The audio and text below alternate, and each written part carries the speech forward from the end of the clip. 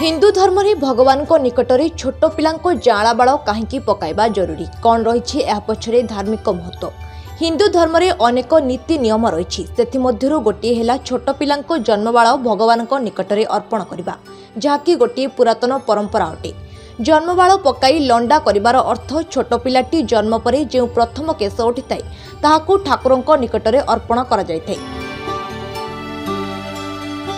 ଶାସ୍ତ୍ରର ଗତ ନିୟମ ଅନୁସାରେ ମଣିଷ ଜନ୍ମ ହେବା ପରେ ପ୍ରଥମ ସଂସ୍କାର ଭଗବାନଙ୍କ ସହିତ ତାର ଏହି ଜନ୍ମ କେଶ ପକାଇବାରୁ ଆରମ୍ଭ ହୋଇଥାଏ। ସନାତନ ଧର୍ମରେ ଯେତେଗୁଡ଼ିଏ ରୀତିନୀତି ରହିଛି କେବଳ ତାହା ପଛରେ ଆବଶ୍ୟକତା ନୁହେଁ ବରଂ ଆଧ୍ୟାତ୍ମିକ ଧାର୍ମିକ ବୈଜ୍ଞାନିକ କାରଣ ରହିଛି। ମଣିଷର ଯେଉଁ ଷୋହଳଟି ସଂସ୍କାର ମଧ୍ୟରୁ ଜନ୍ମବାଳ ପକାଇବାର ସଂସ୍କାର ଗୋଟିଏ ଯାହାକି ଗୋଟିଏ ମହତ୍ତ୍ୱପୂର୍ଣ୍ଣ ସଂସ୍କାର ଅଟେ।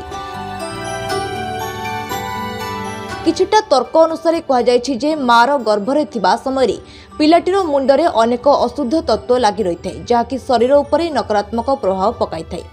ମାନ୍ୟତା ଅନୁସାରେ କୁହାଯାଇଛି ଯେ ଲଣ୍ଡା କରିବା ଦ୍ୱାରା ବଳ ଆୟୁ ଆରୋଗ୍ୟ ଶକ୍ତି ବୃଦ୍ଧି ହୋଇଥାଏ। ଏହାଦ୍ୱାରା ଶିଶୁର ମାନସିକ ଶାରୀରିକ ବିକାଶ ହୋଇଥାଏ। କିଛି ଲୋକେ ବିଭିନ୍ନ ଶକ୍ତିପୀଠରେ କେଶ ପକାଇଥାନ୍ତି ଯାହାଦ୍ୱାରା ପିଲାଟି ଜୀବନରେ ସକାରାତ୍ମକ ଶକ୍ତିର ଆଗମନ ମଧ୍ୟ ହୋଇଥାଏ।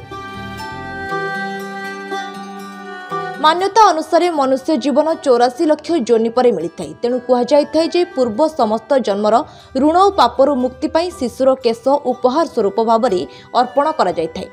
ଲଣ୍ଡା କରାଇବା ପାଇଁ ଦ୍ୱିତୀୟା ତୃତୀୟା ପଞ୍ଚମୀ ସପ୍ତମୀ ଦଶମୀ ଏକାଦଶୀ ଓ ଦ୍ୱାଦଶୀ ତିଥି ଶୁଭ ହୋଇଥାଏ। ଏହାଛଡ଼ା ସୋମବାର ବୁଧବାର ଗୁରୁବାର ଓ ଶୁକ୍ରବାର ଶୁଭ ହୋଇଥାଏ। ଆଶ୍ୱିନ ମାର୍ଗଶିର ମାଘ ଓ ଶ୍ରାବଣ ମାସରେ ଲଣ୍ଡା କରାଇବା ଶୁଭ ହୋଇଥାଏ। ब्युरो रिपोर्ट सकाळ खबर